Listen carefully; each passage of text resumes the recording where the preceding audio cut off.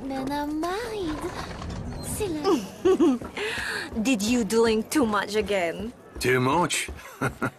Not nearly enough. Who's up for a single malt breakfast?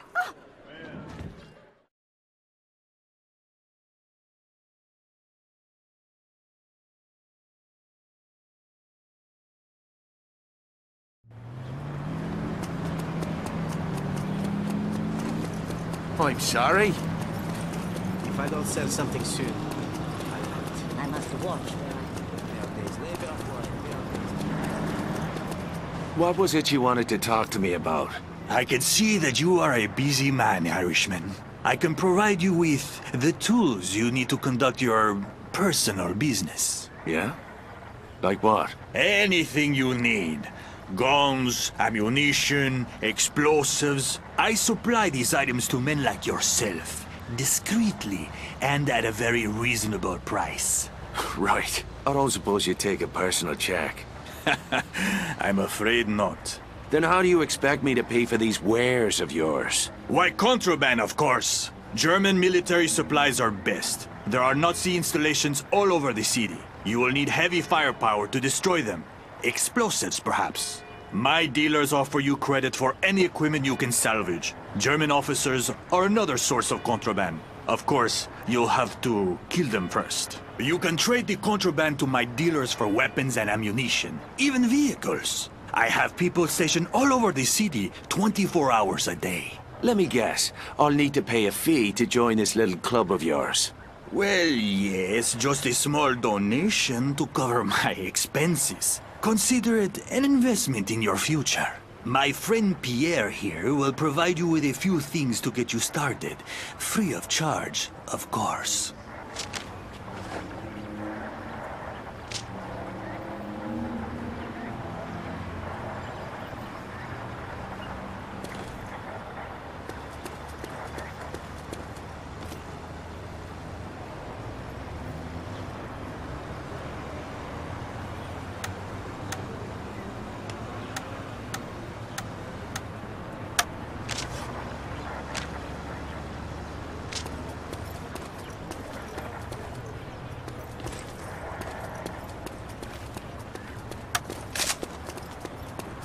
He's armed.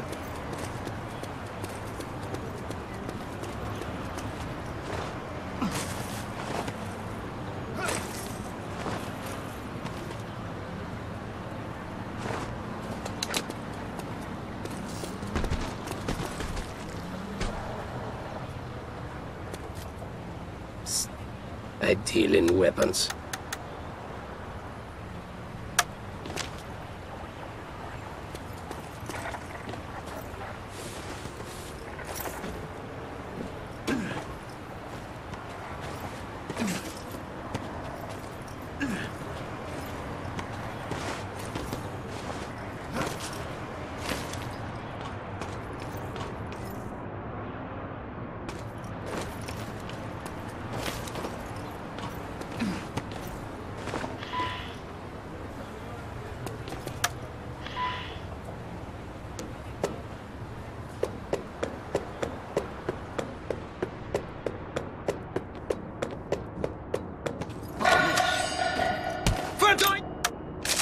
Ihn an!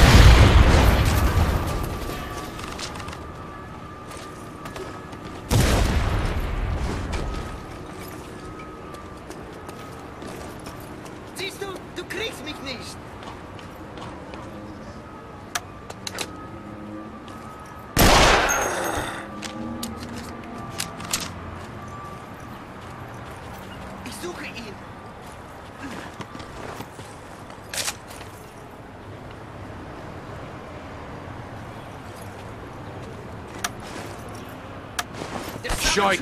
Gunfire!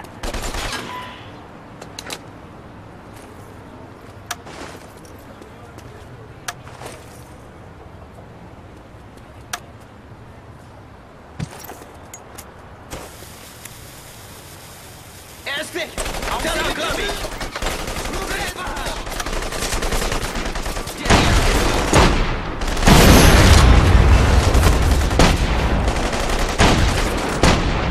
Der auf mich schießt, stirbt!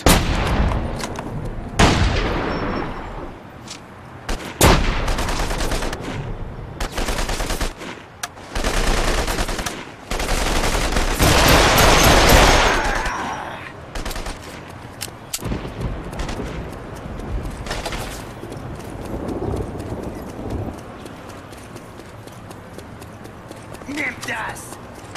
Ein Frontalangriff?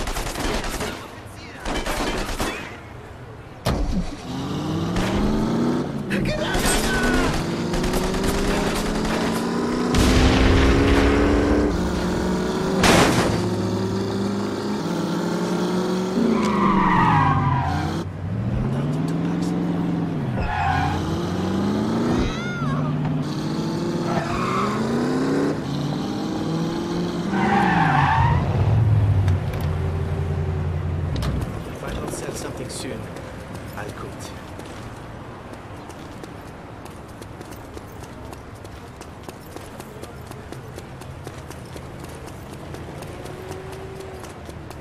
I just want to know why there was gunfire. Muy bien, Irishman. I think this is the beginning of a very profitable friendship. You are now free to trade with any black market dealer in the city.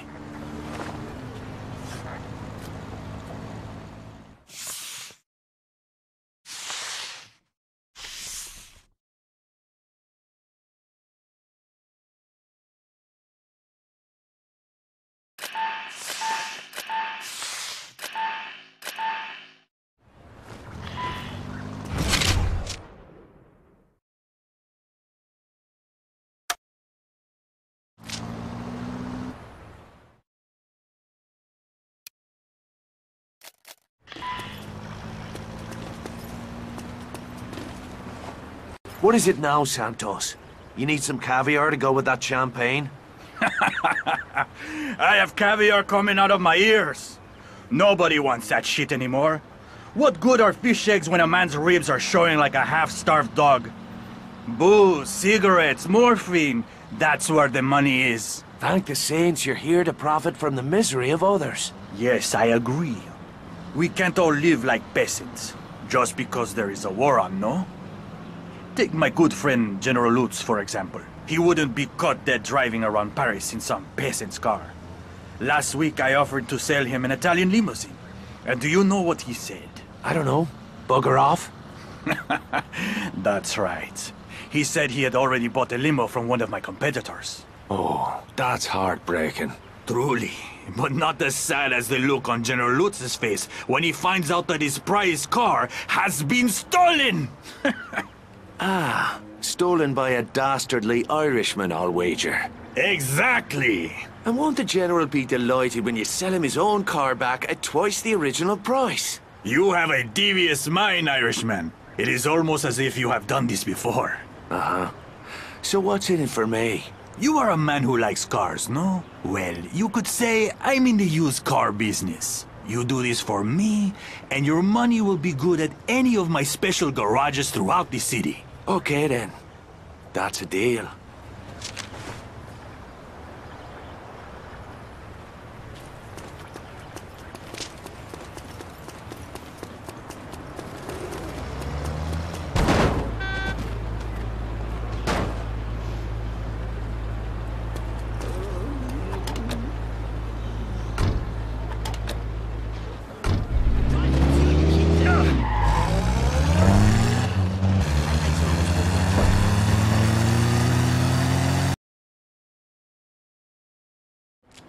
Must be around here somewhere. There's the car. Ooh, she's a rare beauty. Let's see if I can get her back to Santos without ruining those good looks.